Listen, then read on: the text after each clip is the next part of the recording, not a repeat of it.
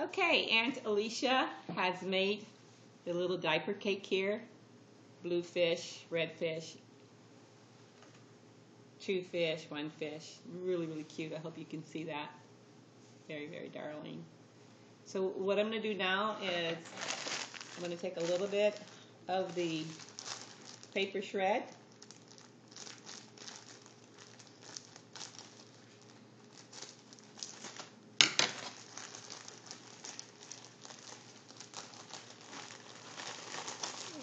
going to put some of the green up on the top here.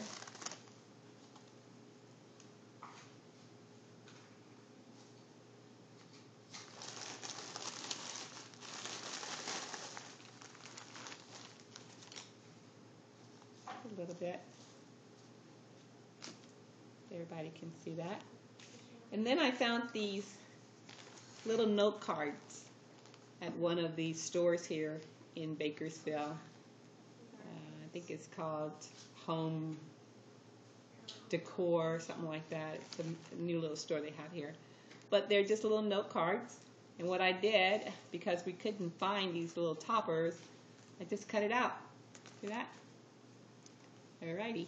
So, I'm going to put, well, we have different different ones that I, that I cut out.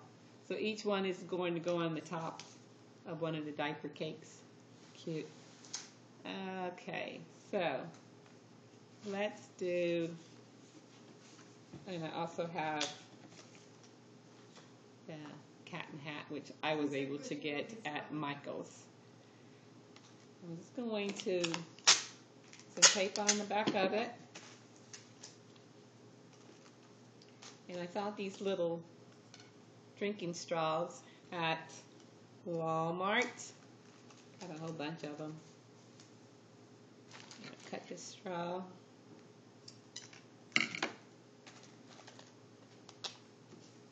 And just put a piece of straw there. Put the tape on the back, like so. And then I'm just going to stick that in there. There you have it. I think it's cute.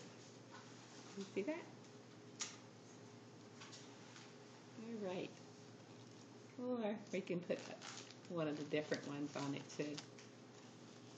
It's really cute. All right.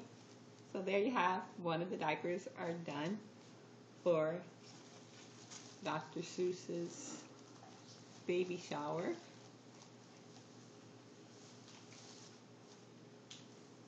Ah, cute. Ashley.